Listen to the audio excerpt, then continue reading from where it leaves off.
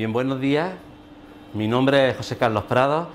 Eh, soy director del grupo CTS 107 de la Junta de Andalucía y bueno, estamos trabajando ahora mismo en el Centro de Investigación Biomédica, un centro que está muy, muy cerca del colegio al que estamos retransmitiendo, al Mundi.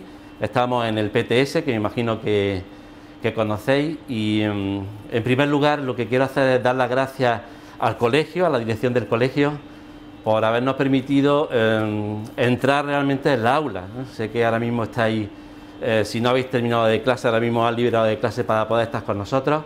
También sé que estáis en exámenes trimestrales, por lo tanto, agradecer al colegio el esfuerzo que ha hecho. Y después también eh, me gustaría agradecer a las dos personas con las que hemos estado en contacto, a María José y Marta, que son las que, bueno, de alguna forma han ayudado a que esto, a que esto podamos retransmitirlo.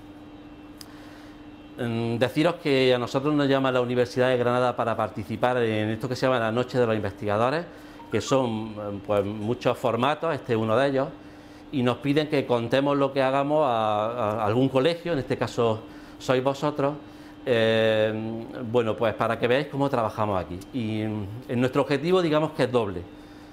Por una parte, eh, eh, contaros lo que nosotros hacemos pero contarlo desde un idioma que no sea desde una forma de hablar más que de un idioma que no sea muy científico, que no sea muy eh, eh, con una serie de palabras que no conozcáis, porque estamos hablando que sois diferentes niveles, no sabemos tampoco muy bien la formación que tenéis, entonces intentaremos hacerlo pues lo más fácil posible.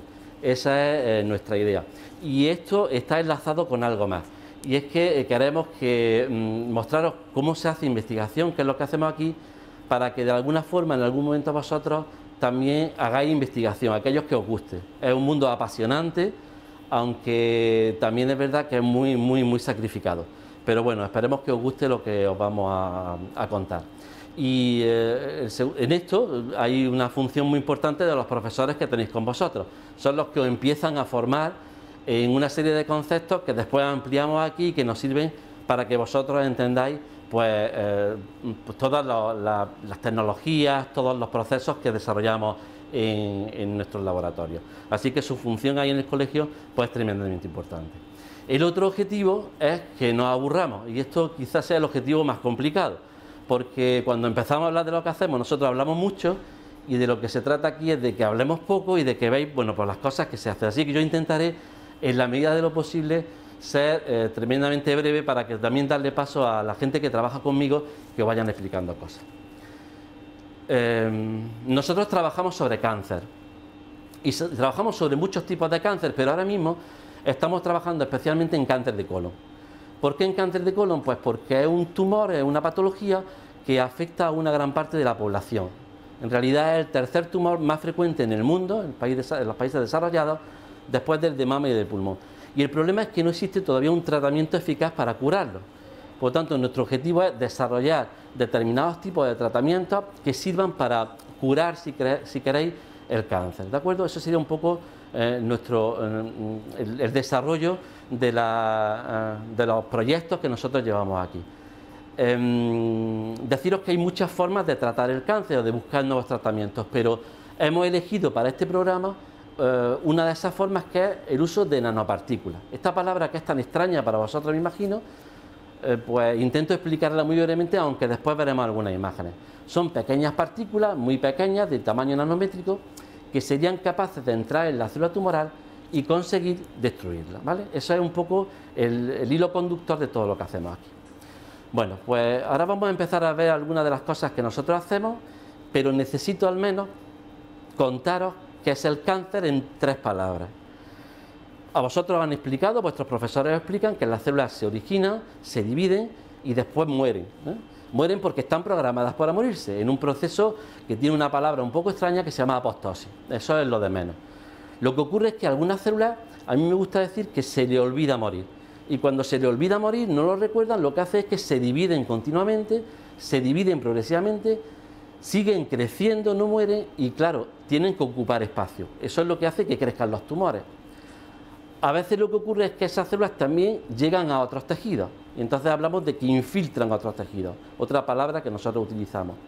Y por último, eh, se desplazan a otros sitios, llegan a otros tejidos por vía sanguínea, a través de la sangre, y originan eso que alguna vez había oído que se llama la metástasis, ¿no? Un tumor que se encuentra en el colon o un cáncer que está en el colon de pronto aparece en el hígado o aparece en el cerebro porque eh, se vehiculiza a través de la sangre.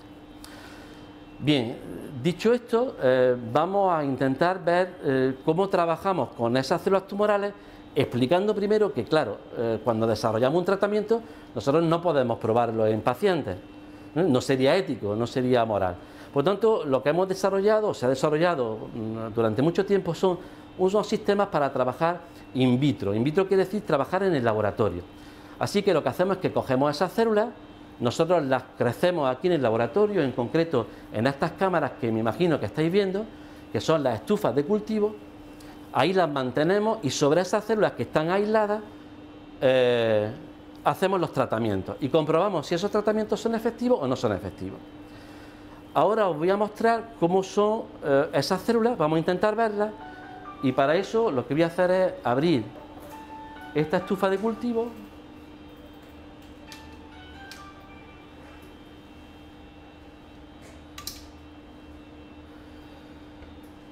Y no sé si se verá muy bien, pero esto que tengo en la mano, que nosotros llamamos Falcon, es simplemente un tubo en donde se encuentran las células y si lo inclino un poco veréis que tiene como una especie de líquido rojo que no es otra cosa que el medio que necesitan esas células para vivir.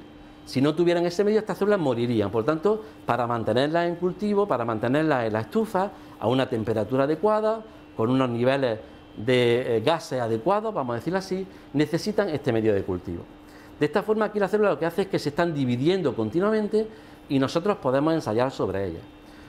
Como a mí lo que me gustaría es que vierais esas células, he llamado aquí a una de mis becarias, ¿eh? que es Ana, que va a poner esas células en el microscopio para ver si las podéis observar tal y como son. Así que vamos a poner, Ana, pon este falcon en el micro.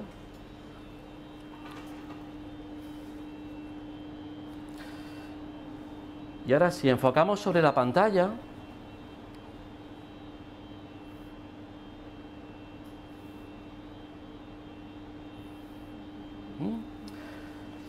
Si, enfocamos sobre la pantalla veréis que todas estas zonas que nosotros estamos viendo redondeadas son esas células tumorales, en este caso de cáncer de colon, que están creciendo, ahora mismo no se ven eh, que se dividen, obviamente porque se dividen de forma mucho más lenta, pero si esperáramos uno o dos días, donde ahí aparece ese número de células, aparecerían muchas más.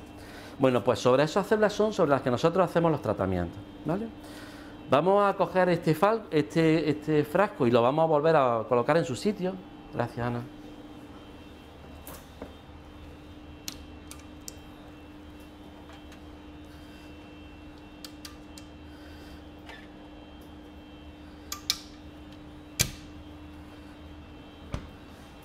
Y os voy a mostrar dónde hacemos ese tipo de trabajo. No sé si la pantalla lo coge bien, pero esas células cuando queremos trabajar eh, sobre ellas, cuando queremos someterlas a tratamiento, las colocamos en estos recipientes especiales que reciben el nombre de placas. Fijaros que tienen como una especie de zonas circulares que llamamos pocillos y ahí la ventaja que tenemos es que podemos colocar el mismo número de células en cada pocillo.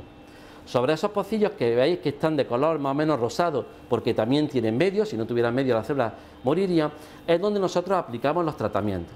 En este caso, como estamos hablando de nanopartículas, lo que vamos a hacer es añadirle esas nanopartículas para ver cómo las células responden.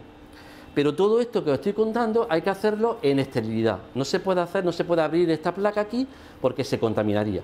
Así que vamos a movernos ahora un poquito y vamos a ir a una zona en la que otra eh, de las personas que trabajan en el grupo, os va a mostrar cómo se hace esto, ¿vale? Así que nos desplazamos ahora un momento.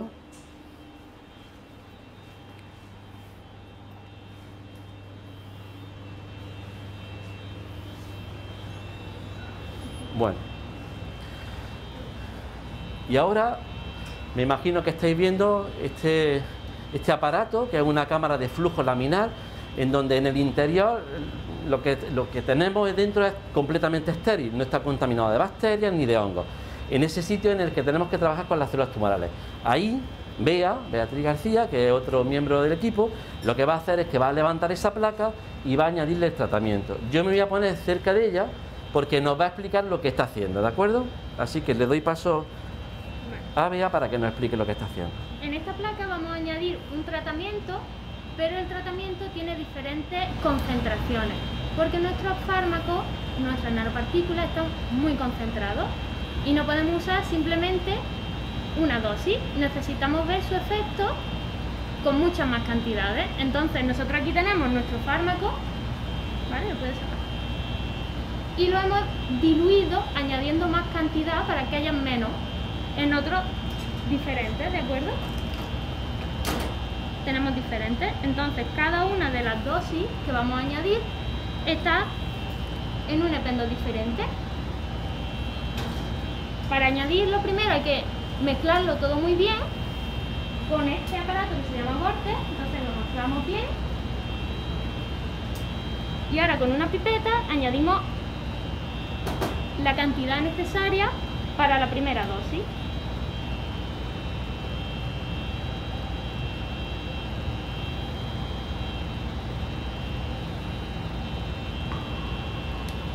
Cuando hemos terminado con una dosis pasaríamos a la siguiente, que también la mezclamos muy bien.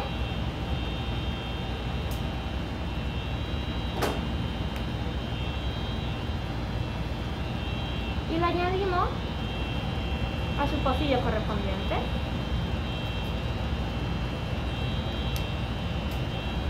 Este proceso se repite con todas las dosis que queramos añadir y lo dejamos incubar en la estufa el tiempo necesario de nuestro experimento.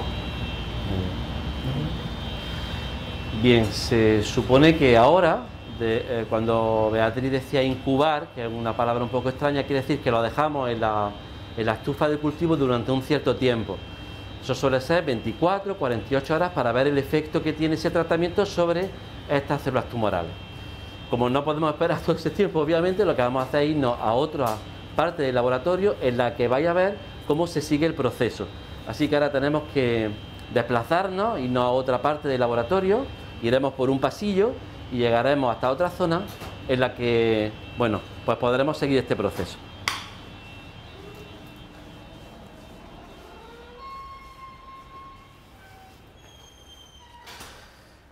Bien, este es el pasillo por el que voy andando del Centro de Investigación Biomédica. Aquí hay muchos laboratorios de muchos grupos que trabajan pues, en diferentes temas, en inmunología, en no sé, metabolómica, en muchas eh, otras líneas de investigación. Y también además, fijaros, aquí eh, a la derecha tengo una zona que se llama Biobanco y que me paro un momento porque para nosotros es muy importante.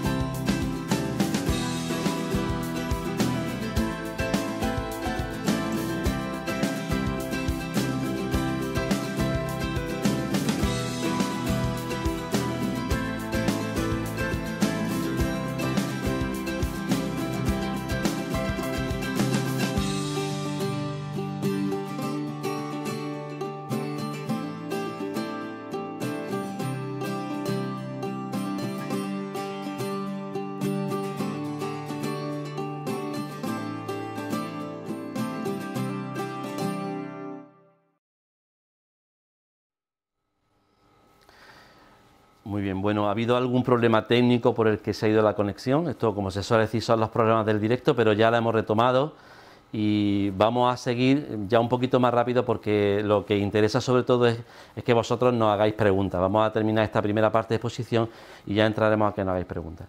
Estáis viendo en la imagen una pequeña diapositiva muy simple en el que muestra cómo serían esas nanopartículas.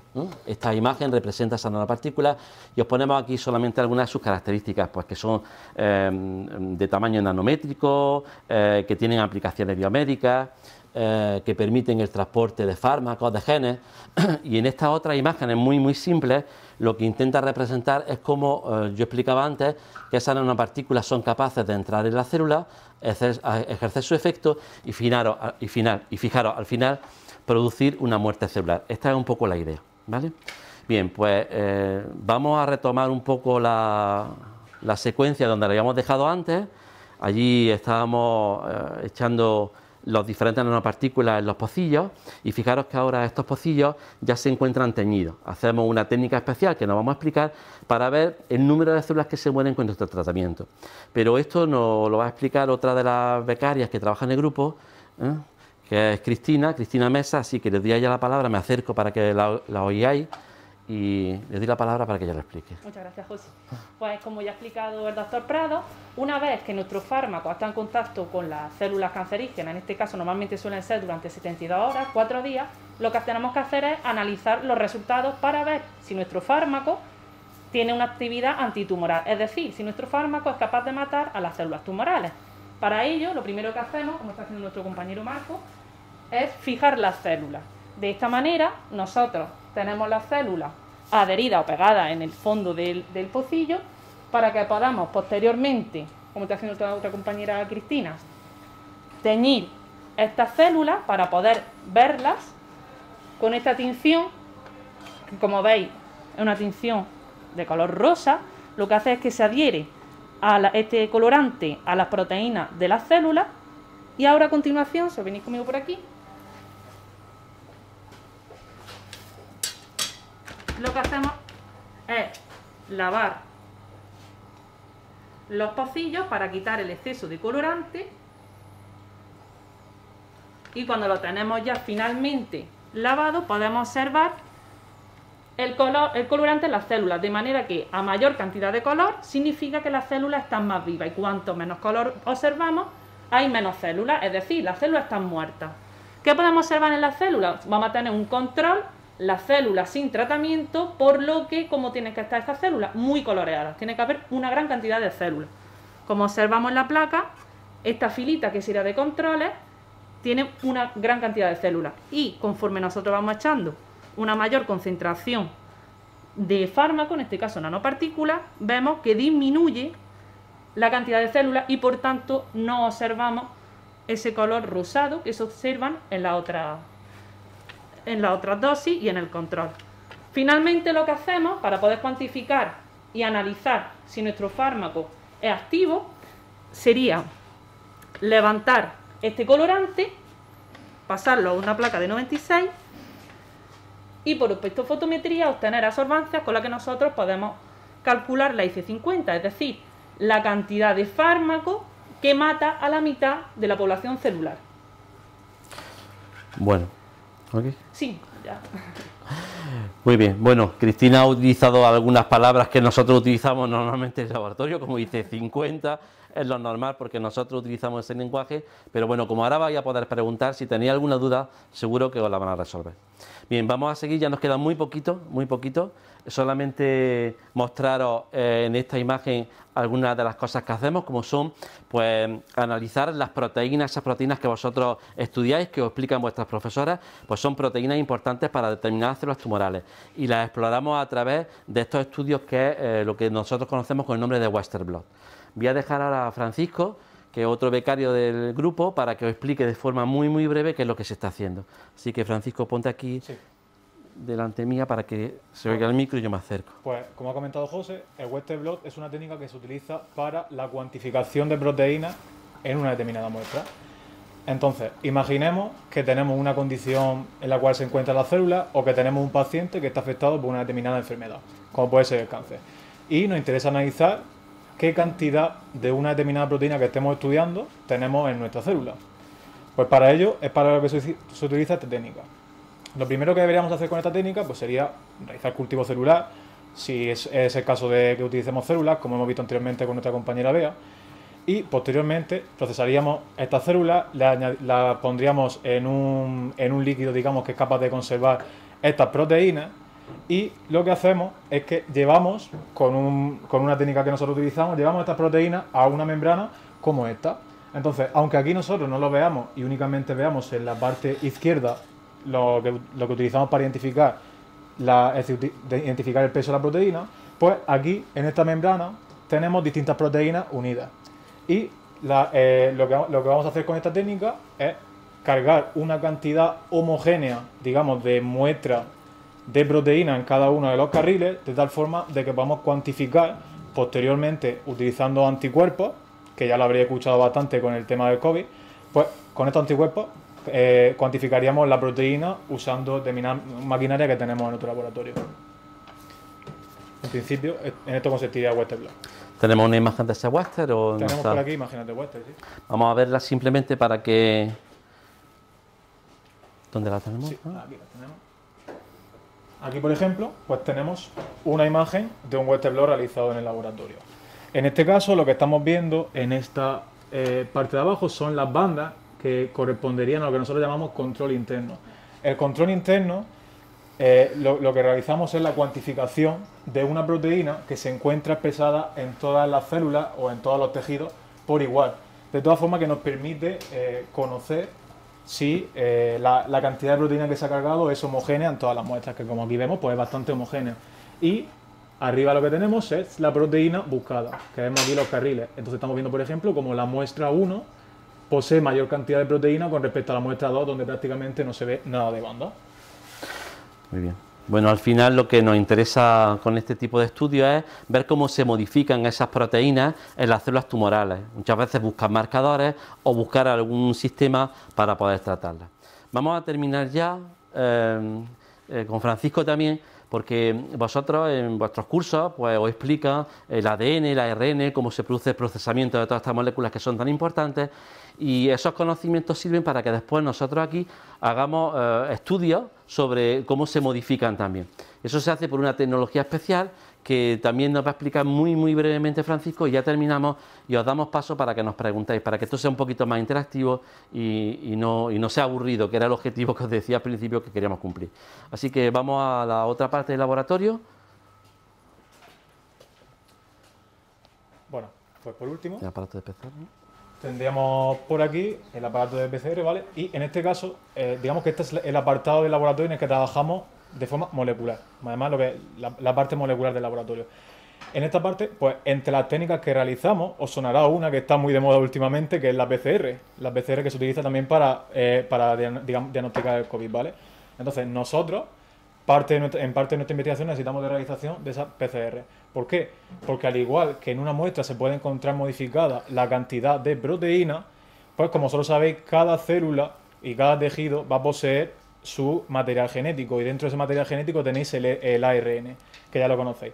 Pues muchas veces nos interesa conocer cuando investigamos una determinada ruta molecular, por ejemplo, qué ruta molecular es la que está produciendo el cáncer. Pues si vemos una modificación entre un tejido o una célula sana y un tejido que esté afectado, por ejemplo, como puede ser un tejido que derive de un tumor, pues mediante esta eh, QPCR que realizamos, digamos, en este apartado, en varios pasos, que son bastante complejos y que requieren de mucha precisión, pues nos permitiría eh, conocer cuáles son las rutas moleculares que se encuentran, digamos, eh, alteradas en cada una de las muestras. En el caso del COVID, pues nos permite la detección del virus en, la, zona en la que se extraiga. Pero en el laboratorio pues nos sirve sobre todo para estudiar rutas moleculares.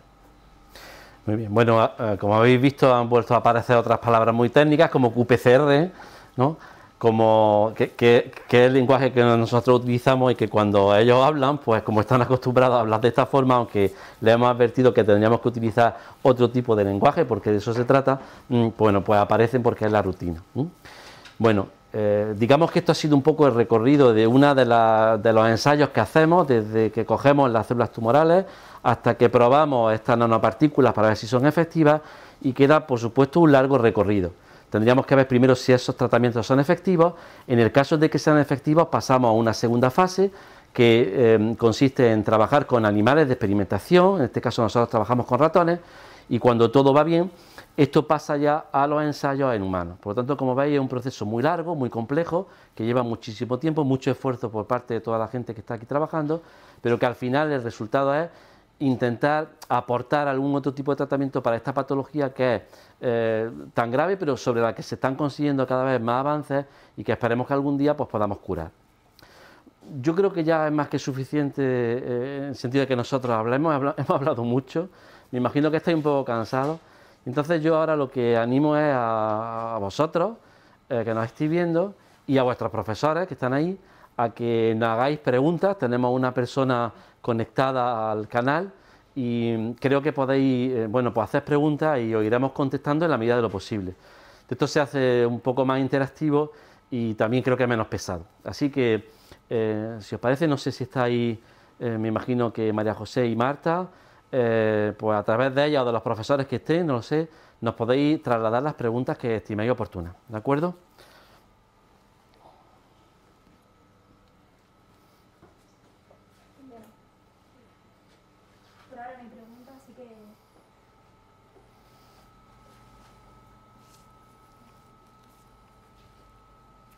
No sé si hay otra manera de comunicarse o es a través del chat solo, ¿verdad? Espera un poquito a ver si pregunto.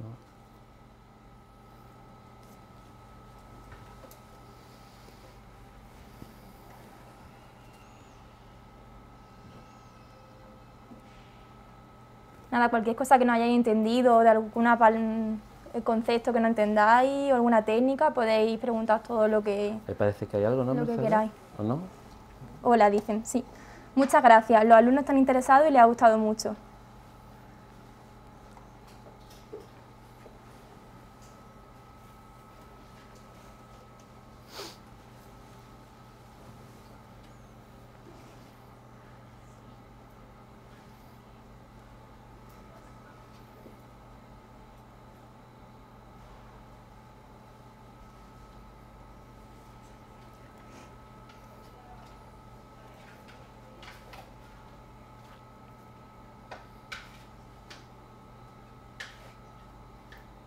Vale, nos hacen una pregunta. Dice, los alumnos de primero de la ESO A preguntan que cuánto tarda el proceso de conseguir un tratamiento.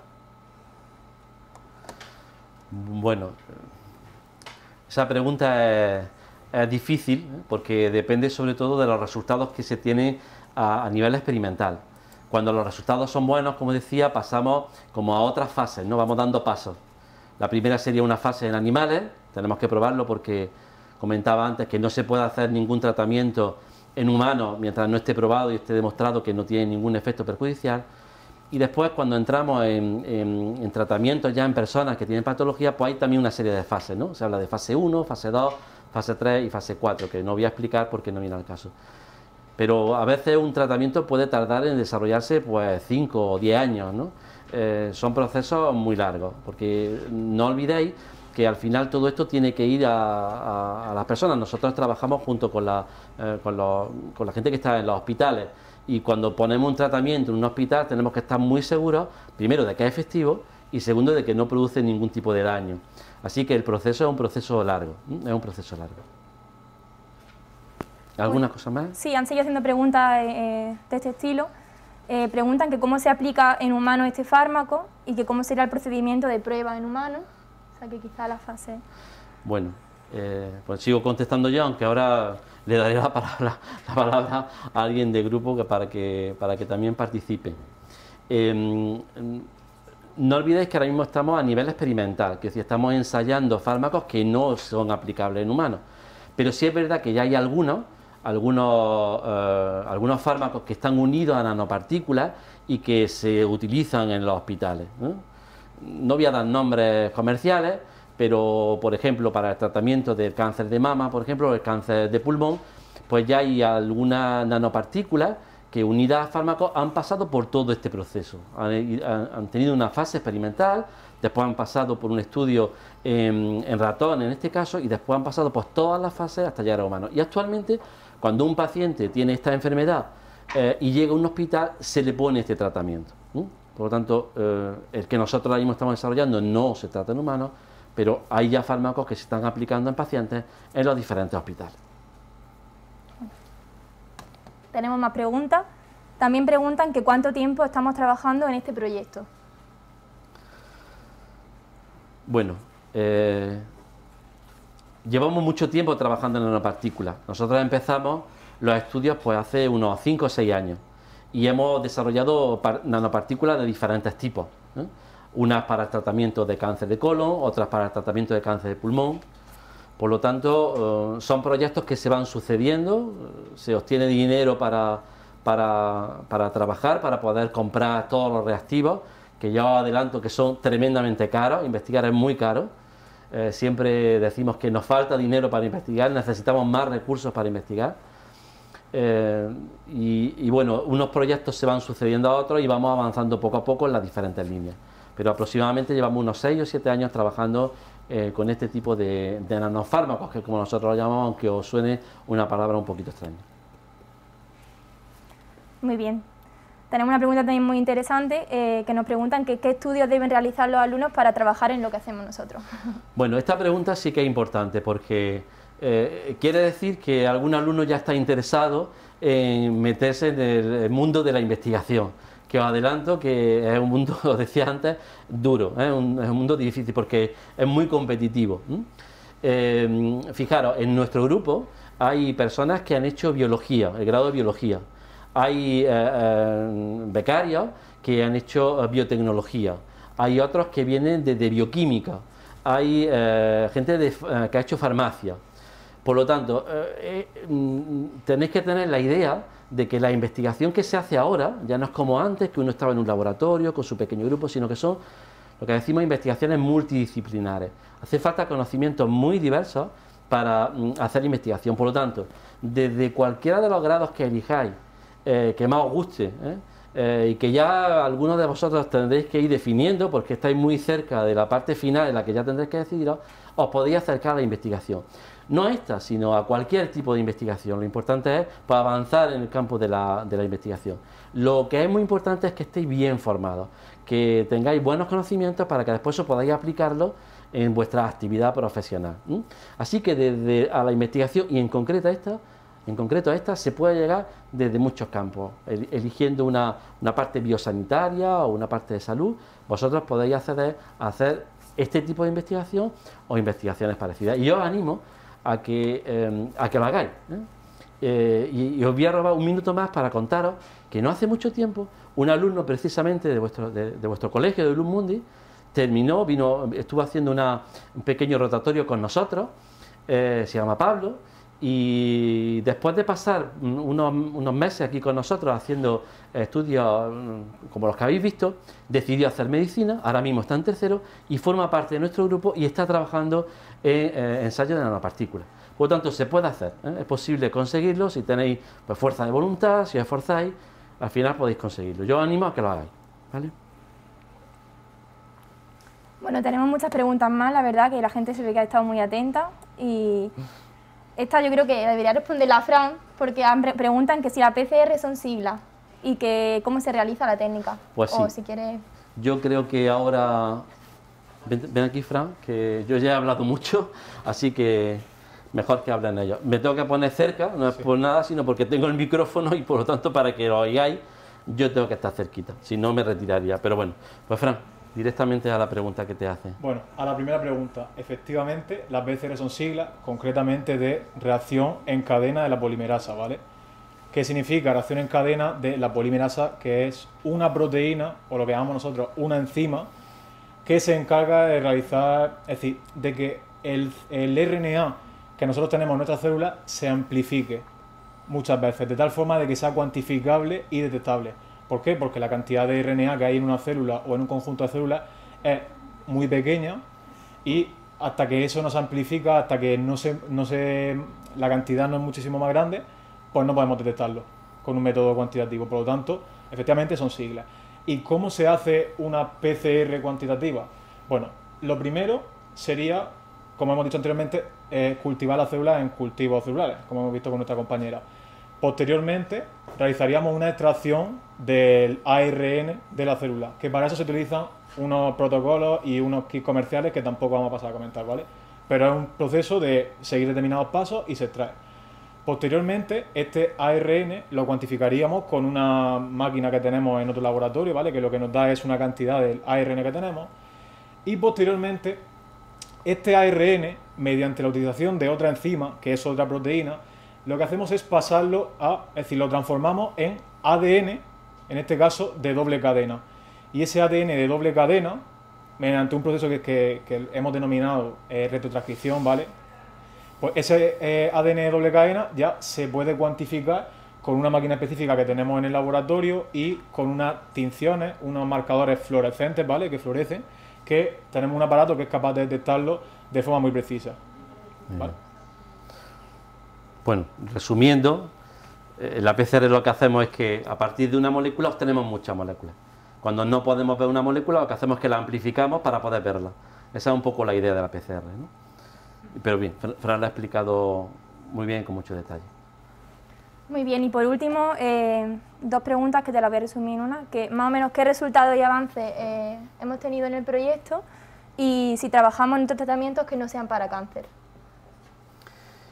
Bueno, eh, la contestaré yo porque veo que, que parte del grupo está en la, otra parte del laboratorio. Eh, empezaré por la, por, la, por la, segunda.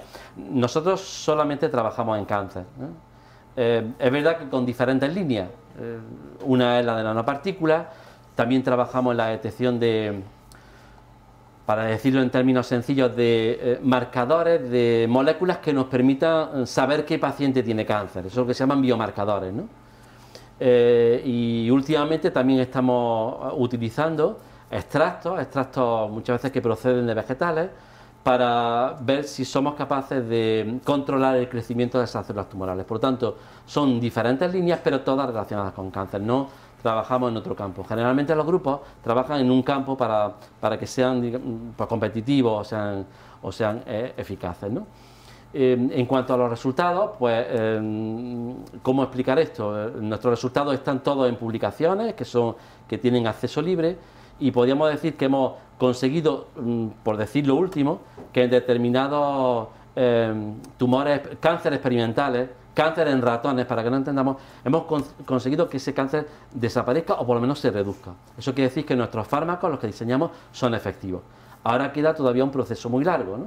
De hecho, algunos de estos eh, fármacos ya se encuentran patentados. Patentados quiere decir que están protegidos y que por lo tanto a partir de ahí mm, determinadas casas comerciales, determinadas empresas podrían interesarse y desarrollarlos para llegar a humanos. ¿vale? Muy bien, pues aquí tenemos dos últimas preguntas, las dos relacionadas con el coronavirus. La primera, eh, nos preguntan si las investigaciones que se están realizando sobre el coronavirus son parecidas a lo que hacemos nosotros. Y la segunda, que si nos ha afectado a nosotros los, protocolos COVID eh, nuestro trabajo y si, hemos, y si se ha retrasado nuestro trabajo por este motivo. Eh, no sé si alguno de vosotros queréis contestar, Cristina. Bueno, claro que nos han afectado los los protocolos COVID. Nos estáis viendo aquí todos con, con mascarillas, eh, por supuesto con guantes. Hay una serie de, de, medidas que tenemos que tomar, en las que no podemos estar pues, muchas personas en un mismo sitio. Por supuesto que nos ha afectado y de hecho pues han retrasado un poco eh, pues toda la investigación que hacemos. Es muy, muy difícil investigar cuando tienes este tipo de, de limitaciones. Y en cuanto a la primera, Mercedes, no, no recuerdo, era sobre... Sí, las investigaciones que se están realizando en COVID tienen relación con lo que hacemos nosotros aquí. Bueno, la investigación toda se relaciona, pero en realidad las investigaciones en COVID son un poco distintas, ¿no? Van más bien por eh, el desarrollo de una vacuna o ver eh, cuáles son los marcadores que existen para determinar qué enfermos de COVID pueden ser más graves. Eh, yo sí puedo decir que en, esta, en esta pandemia nosotros hemos intentado aportar algo de lo que hacemos. Tenemos un proyecto, colaboramos, mejor dicho, en un proyecto en el que, como he dicho antes, eh, trabajamos sobre marcadores que detectan enfermedades. Bueno, pues nos han pedido que ayudemos, que apoyemos a detectar marcadores en pacientes con COVID. Hay un proyecto con un hospital de Almería y con otro grupo de investigación en el que estamos intentando ver si existen determinados marcadores que nos permitieran diferenciar entre pacientes en el sentido de, que, qué pronóstico tienen, de, cómo decirlo de otra forma sin utilizar palabras muy técnicas, de cómo van a evolucionar, ¿no? con lo cual nos permitiría hacer grupos de pacientes. Esto es una colaboración que hacemos porque, bueno, entra dentro de nuestro campo, pero nosotros no trabajamos específicamente sobre, sobre COVID. Ayudamos en lo que podemos, en lo que sabemos, a, en fin, a, avanzar eh, para mejorar la situación, pero no somos expertos, desde luego, en, en COVID. Muy bien. Bueno, no sé si hay alguna cuestión más. Hay una última pregunta, eh, creo que en referencia al poco al Western Blot de las proteínas, eh, que nos pregunta que si en la muestra de proteína hay una proteína mal plegada o prión, que qué ocurriría con la muestra, si se podía analizar. Bueno, esto estoy mirando a mis colaboradores que están ahí. Una pregunta un poco la, verdad, buena pregunta. buena pregunta.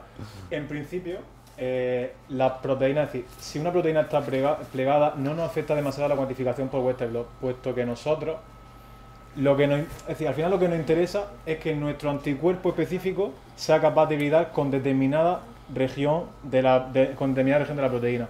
Entonces, si la proteína efectivamente está plegada, puede afectar en afectar, afectar en una pequeña parte a esa detección, puesto que si, si, por, si por casualidad el sitio o la zona que está plegada de esa proteína coincide con el target, digamos, el objetivo al que le hemos al que hemos llevado este anticuerpo para detectarla, pues efectivamente no la detectaremos, porque el anticuerpo, es decir, lo que utilizamos para detectarla, no podrá unirse a la proteína. Y por lo tanto, pues no podemos detectarla. Pero generalmente sí. Pero sí. Cristina estaba añadiendo algo más. Cristina, acércate. Bueno, también además que nosotros usamos un tampón de carga que lo que hace es que la proteína la denaturaliza y lo que hace es que, claro, exactamente, que sea más accesible para evitar estos problemas. O sea que ese problema, en teoría, no, no lo tenemos. No debería afectar. O tiene fácil solución. Pues por ahora ya no hay más preguntas. No sé si quieren hacer alguna más. Bueno, no sé si queréis preguntarnos algo más. Tampoco queremos extendernos porque os decía antes que sé que estáis bueno, en, periodo de exámenes. Se había previsto aproximadamente una hora de emisión. Eh, así que si no, si no hay ninguna duda más, ninguna pregunta, algo que queráis comentarnos. Me gustaría que a través del chat algún profesor nos dijera si ha ido bien y si, se ha visto bien y si se ha explicado bien. Bueno, nos han estado diciendo antes de las preguntas que a todos, que todos los alumnos han estado muy, muy interesados, muy atentos, que les ha gustado mucho. No sé si quieren añadir algo más. Pues, si os parece, son las doce y media, llevamos una hora de emisión. Eh, no sé. Podemos cortar y las malas. ¿Cómo ya? Si no hay ninguna pregunta más. Si hubiera más preguntas podemos responder de todas formas por el chat. Si alguien se queda... Bueno, em, para terminar entonces, porque entiendo que no debemos tampoco prolongarlo más en el tiempo, tenía otras cosas que hacer. Por supuesto, eh, estamos conectados, cualquier otra pregunta que nos queráis hacer a través del chat, pues la, la contestaremos. También deciros que, os decía, estamos en el Centro de Investigación Biomédica, que estamos aquí en el PTS, que estáis muy cerquita, que si a alguien le interesa especialmente, pues que puede venir a vernos, que nosotros estamos abiertos para que veáis lo que hacemos, porque es algo evidentemente público, financiado con dinero público, y estamos obligados a mostrar lo que nosotros estamos haciendo.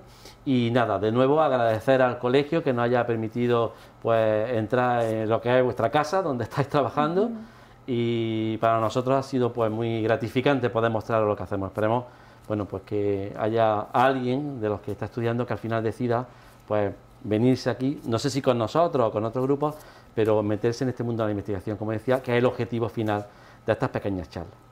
Bien, no me extiendo más, eh, muchas gracias por la atención, espero que todo, yo, que todo haya ido bien y, y nada más, hasta aquí. Bueno, nos despedimos todos, ¿vale? Fran, Mercedes, Cristina. Muchas gracias a todos. Muchas gracias.